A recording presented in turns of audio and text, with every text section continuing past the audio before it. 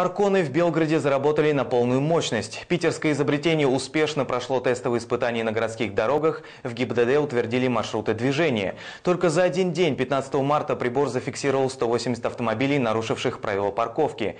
В ближайшее время их владельцы по почте получат постановление со штрафами. Дарья Маслова продолжит.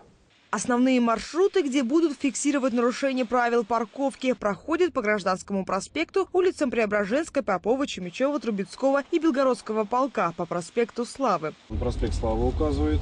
Появляется значок «Остановка здесь запрещена». Далее. И наводим камеру на регистрационный знак транспортного средства.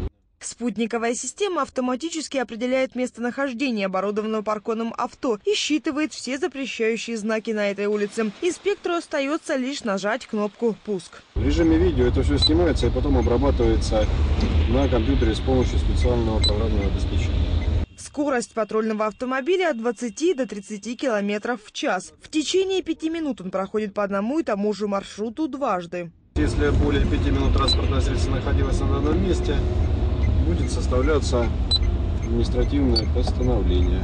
Питерским изобретением городское управление ГИБДД обзавелось недавно. В феврале прибор работал в тестовом режиме. Его настраивали под особенности белгородских улиц. Зафиксированные парконом нарушения записываются на флешку. Затем данные обрабатывает специальная компьютерная программа. Автоматически по каждому случаю составляется постановление с электронной подписью. Заказное письмо с уведомлением отправляется прямиком адресату. У нас в городе Белгороде два прибора.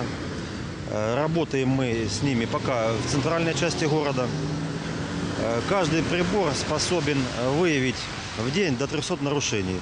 Ну, пока мы только начали сегодня, сегодня первый день, вот с каждого прибора у нас получилось по 100 нарушений. С начала года без помощи парконов к административной ответственности за стоянку в неположенном месте были привлечены около 900 водителей. 300 машин эвакуированы. Проблема парковок – одна из самых острых в областном центре. Водители рады бы парковаться там, где положено, но этих мест на всех не хватает. С одной стороны, это хорошо, а с другой стороны, если будут парковые места, где можно будет нормально парковаться, то как бы за. А если негде будет парковаться, будешь становиться опять же и опять же будешь нарушать. Вообще-то это большая проблема припарковаться в центре города.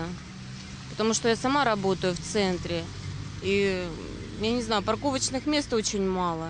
Суммы штрафов за стоянку в неположенном месте зависят от степени нарушения. Если машину оставили под запрещающим знаком, штраф полторы тысячи рублей. Припарковаться на месте для инвалидов обойдется автовладельцу от трех до пяти тысяч рублей. Стать в остановочном кармане или на пешеходном переходе будет стоить тысячу рублей. Автолюбителям теперь придется тщательно продумывать свой маршрут, чтобы не нарушить правила парковки и не попасть в объектив паркона. Дарья Маслова, Данил Андреев к этому часу, Белгород.